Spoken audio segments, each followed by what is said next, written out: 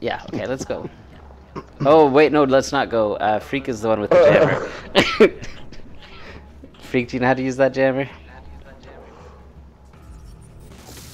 Oh shit, he just showed me how to use the jammer.